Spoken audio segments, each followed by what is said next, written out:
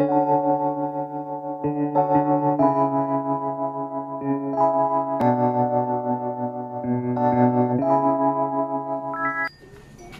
everyone! Kumusta kayo?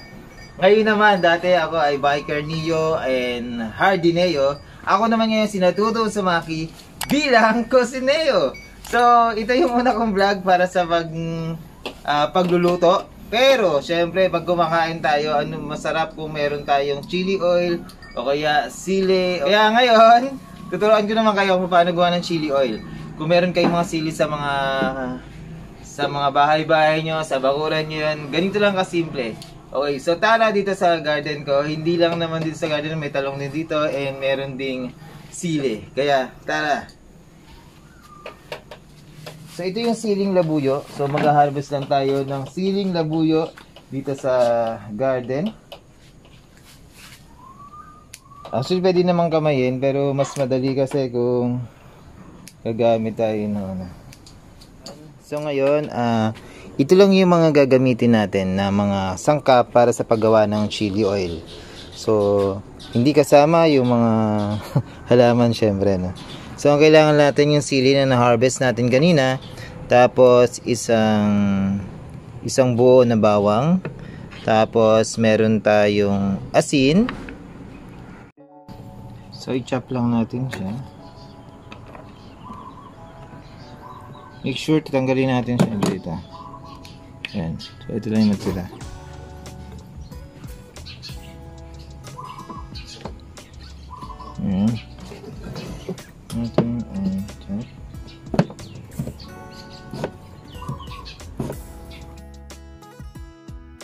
Pero kung meron kayong blender, mas madali. Pero yung chop kasi kung gusto nyo may mga ano, ah, cubes cubes na o may chunk ng sili, mas okay. So, ang ine-next naman natin ngayon, yan. No? So, i-mince lang natin yung ating garlic. O, so, isang piraso, isang buong garlic.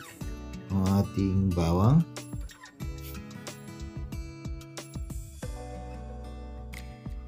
Yan, may, meron tayong asin. At tapos, syempre, meron din, eh, kailangan din natin ng oil. Yan. Pwede rin cooking oil, palm oil, o kaya olive oil, mas okay. Pero medyo mahal lang. Pero, ayan. Ang gagamitin natin ay cooking oil o vegetable oil.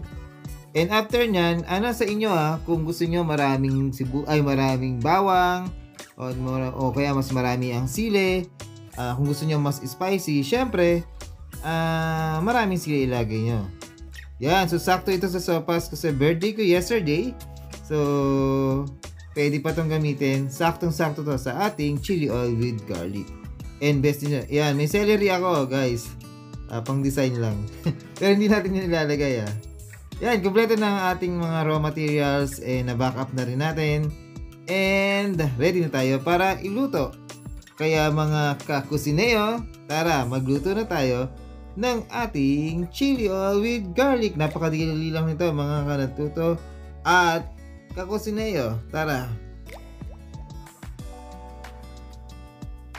Alright. So, ayan na yung ating mga gagamitin. Welcome to my small kitchen. So, naka-ready na yung ating mga materials na gagamitin. And, uh, lalagyan na natin ng oil. Ay, kasing ginamit ko pang rice cooker to eh. So, nasira na. So, gagamitin ko. No? Meron nakagay 1 cup, 2 cup, 3 cups. So, half cup lang yung gagamitin ko na oil since kakaunti lang naman yung sili natin.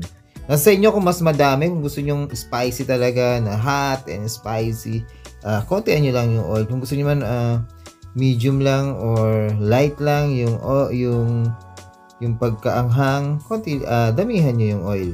And take note mga kakusineo, uh, para hindi mag-molds na, makikita nyo kasi pag naubos na yung oil or parang uh, masyado nang malapot yung yung chili oil nyo, uh, dagdagan nyo lang siya ng oil para hindi mapanis and no need to ilagay naman sa sa chiller. Kung may chiller kayo, uh, better. Okay? So, yun. Uh, hintayin lang natin na mag-briskly boiling yung ating oil ng medium flame. Yan. So, okay na. Ready na natin yung ating I mean, mag-start na tayo. So, pagsabay-sabay nyo lang. Yan. Lagyan natin yung sili. Yan. And then, ito yung garlic. Yan. Ah, ang mga 2 to 3 minutes, actually, tapos na to eh. Kasi konti lang naman yung luto natin. Yan. I'm excited to taste. This is my first time kasi nagawa ng chili oil. Yan. So, nasa sa inyo rin kung gusto nyo na medyo uh, yan, lagyan uh, mga 2 pinch ng o 2 to 3 pinch ng salt. Haluin. And then next natin yung sugar. Para hindi kasi kami gumagamit dito sa bahay ng ng any uh, MSG or uh, any oh, magic syrup man yan. Hindi naman ako against doon pero hindi kami gumagamit doon. So nalagyan lang kami ng konting uh, konting sugar para mas uh, lumasa. Ayun yung pinaka MSG natin. Eh nasa sa inyo yan kung gusto niyo toasted or hindi masyadong luto yung garlic, yung medyo uh, yellow yellow pa pero ako gusto ko medyo toasted. Kaya ito toast natin ng konti. Yan. Ang dali lang. Siguro mga 2 to 3 or 5 minutes tapos nyo na lahat eh. Alright. So, konting pinch ng sugar. Yan.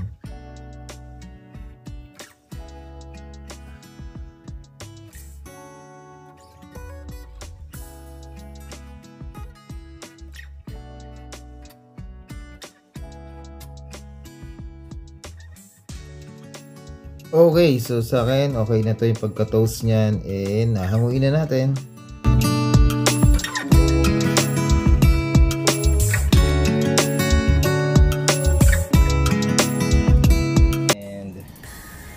At ayun nga mga kakusineo, ang natuto Maki. At tapos na natin yung chili chili oil with garlic. At ito na ngayon and yan, masarap yun sa sopas. Siyempre, lagyan pa natin ng cheese pandesal. So, ito na. Do it! Lalagyan ko lang siya ng, ng konti. Just! Ito. Tingnan natin kung uh, sakto yung yung pagka garlic niya. Mm, sakto lang pero maanghang. Iba talaga kasi labuyo yung ginamit natin na sili. Isa yan sa pinakamaanghang na sili dito sa Pilipinas. So, uh,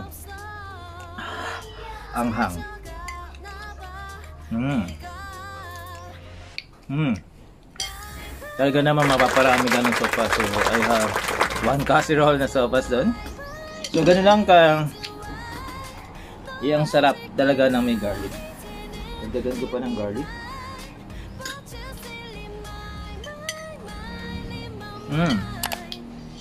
Wow! Uh, yung mga kaibigan ko dyan, puta kayo dito, ang dami pa ng sopas.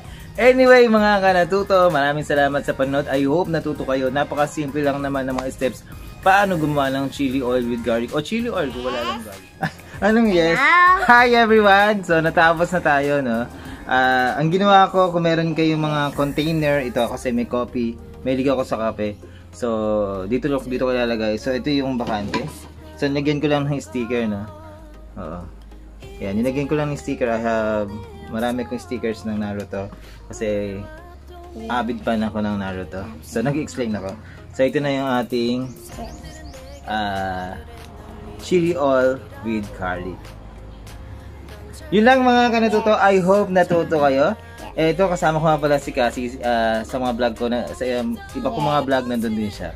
And say hi Cassie. Hi. God bless everyone. Say God, God bless everyone. Bye-bye. Bye-bye.